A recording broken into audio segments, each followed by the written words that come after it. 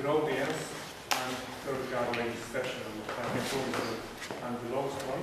And Gábor Kovács, I will share you uh, a small part of my PhD study.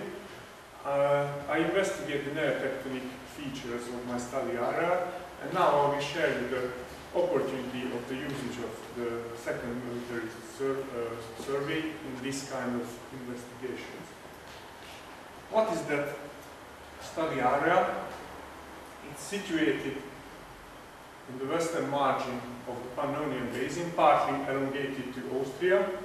And this area isn't only uh, interesting because it's my birthplace, but uh, this is in uh, a special, pos special position between the still uplifting Eastern Alps and the subsiding Little Hungarian Plain. It is partly elongated to the Styrian Basin. We suppose that these special uh, forces affect the recent surface. Let's see the geology of the study area. It's mostly covered by Miocene, very soft sediment, for example, sandy, clayey and marly sediment. And in this study, very important, the outcropped uplifting metamorph complexes, for example, Bernstein mountains, Kőszeg mountains, and Vas Hill. Pleistocene gravel terraces can be also observed on the area. Let's see the Miocene dynamics of the study area. It's situated in the middle of the extruded block of the Alps due to the uh, uplifting of the eastern Alps and something about the vertical movement. It's in the vicinity of the uplifting and exhumated uh, Rechnitz windows, what called the Kőszeg Mountains and Vas as well. We can suppose, uh, according to this information, that during the Miocene, some tectonic features affected the surface, but what about the recent times? Recently, the vertical crust movements can be measured by GPS data. Please check that yellowish arrows that indicate the vertical uh, movements of the area. You can see that uh, an eastward, northeastward uh, moving is observable at the study area. And what about the vertical movements recently? The study area is crossed by the zero vertical motion isoline. So to understand what that means, the western part of the study area is still uplifting today, while the eastern part of the study area is subsiding. We suppose that uh, neotectonic features have to uh, affect the recent surface as well. And see the SRTM elevation model about the study area. The most important thing that is a hilly area bordered by steep scarps, what are supposed to be normal faults not so uh, high, uh, 30, 60 meter high normal faults. Another important phenomena that all of the rivers and streams uh, have an initial north-south direction that usually turns to west-east direction and these uh, bendings are usually followed by the mentioned scarps but also occur on the totally flat area. And let's see which stream will be uh, investigated in this presentation. This one is called Pinka stream. Why is it interesting example? Because the source is in the uh, Bernstein mountain, theoretically uplifting, flow across uh, uh, sandy very hilly uh, sediment and flow across the uplifting Vas Hill and reach again an alluvial zone.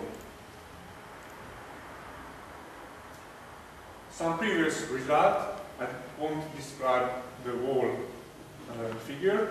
Just please note that this is a simplified model of the study area. Red blocks represent the uplifting realms, for example, Kőszeg Mountains and Hill, while the highlighted lines are the proved, the proved uh, fault lines. The red arrows are the proved tilting of the surface. And why are these phenomena important in this study?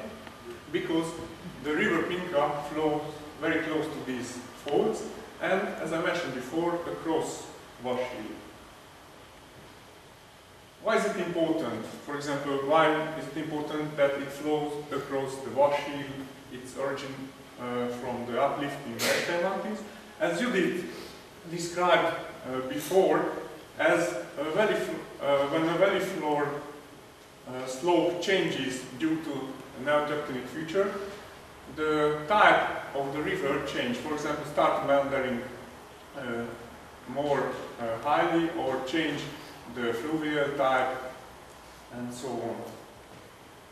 I used the data from the second military survey, what was created in the middle of the 19th century, with the scale of 28,800 uh, 28,800.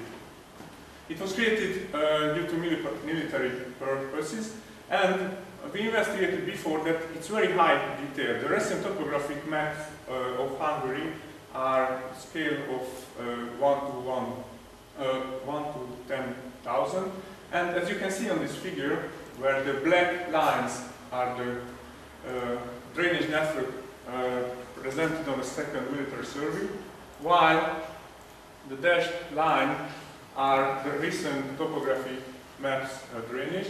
So the second military survey is much more detailed than the recent surveys.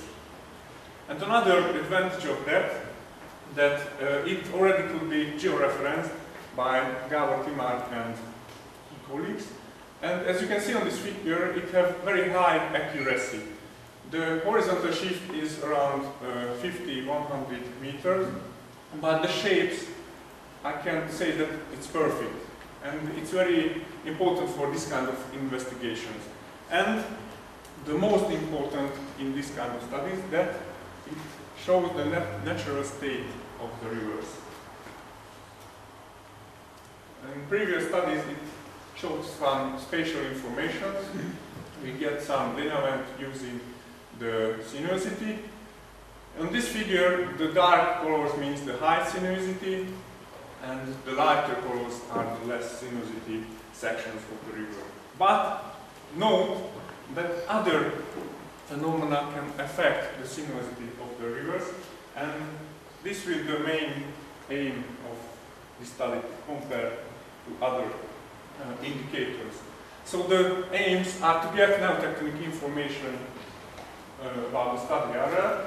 And we also wanted to evaluate the second military survey and mostly the fluvial uh, information derived from that. And what kind of indicators can be compared to the sinuosity and so on. For example, the bedrock can also change these kind of things. For example, if the uplifting metamorph complex is uh, more resistance to erosion, uh, it have an effect. I also compared the SL index, what represent the valley floor slope of the river long section. You can observe here a midpoint where the SL value became high, much higher than below, uh, before and after that along the long section. VF index means the incision rate of the certain section. And we also investigated the topography of the vicinity of the uh, river. And what kind of indicators can be derived from the second military survey? For example, if another river flows into the investigated river, the discharge will be increased and the sinuosity and the, or the type of the river will be changed. The other one are the islands, what uh, can provide information maybe about braided or anastomosis uh, section. And last but not least, the sinuosity uh, will be investigated. Don't be afraid, it's a very complex uh, uh, profile of the river. I will explain what can you see. Firstly, with purple color, you can see the topography, as I mentioned, along the river, while the valley floor is presented with that uh, green line. I also presented the inflows with that blue spots and islands with that green spots along the valley floor. Here is the SL index. Note again that if the SL index is higher, then the valley floor slope is higher as well, while when it's low, the valley floor is very, uh, very flat at the certain section. Next one is the sinuosity. It's highlighted with red color, and the value of that increases downward. And last but not least, the VF index. When it is low, for example here, the section is incised very high. Let's see some results. For example, the first section uh, of the river, there is a peak of sinuosity, and it can be compared to islands can be observed along the river, and a peak of SL index as well. It's very interesting that this section is immediately after the metamorph complex of the Bernstein mountains. So we uh, assume that while the Bernstein mountains uplifting, the foothill of that, what is here, is tilting. That's why we think that this section is uplifting, this section is tilting. The next one, here is another peak of the sinuosity. There is also a peak in the SL index and as well as the VF index. It's a good question what caused that feature. We suppose that maybe the continuation of the Königsteig mountains is uplifting and that causes that effect, but I will get back to that question later on. The next one is a much smaller peak, what can be compared with the peak of the topography and of the SL index. We suppose that maybe a fault can be somewhere here. Let's go along. This is my favorite peak. You can see it's very high. Firstly, man can uh, think that, oh, it's a very big fault or very, uh, very uh, high uplifting, but now, if you see, here is the metamorph complex uh, Vas Hill, and it represents only the highly incised section that. That means that the river incised previously into the Vas Hill, and the meanders can't change. It fixed into that let's see, yeah, it's called uh, Vas Hill, and we say that it is only incised meander. The next one, can nothing can be seen uh, on the sinuosity curve, but there's a significance peak on the SL index, and a lot of island can be seen at the second military survey. We suppose that there can be a small fault, probably. It is another uh, peak on the sinuosity. We compared with the islands and the peak uh, seen on the topography. Okay, we assume that there is enough lift due to this Okay, the last peak, it can correspond again with the peak of topography, but with the high peak of the VF index.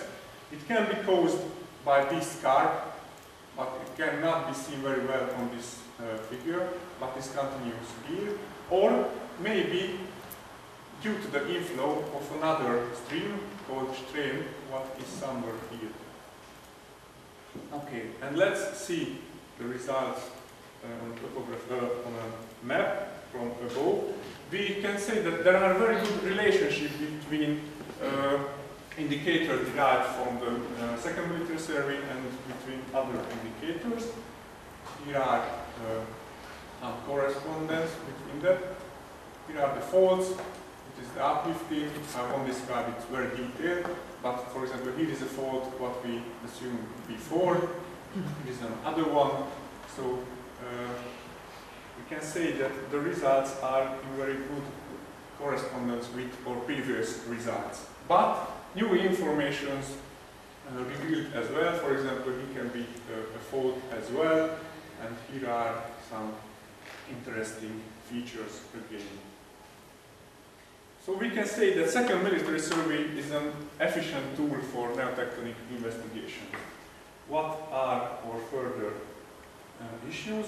We, we would like to investigate further rivers of the study area, it there, and we would like to use further indicators, for example, the synergy spectrum shown by Judith, and TS index, what is the uh, correspondence between the drainage area and the channel slope.